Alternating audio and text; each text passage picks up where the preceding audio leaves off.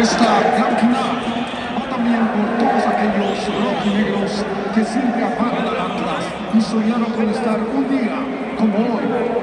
Muéstranos a tus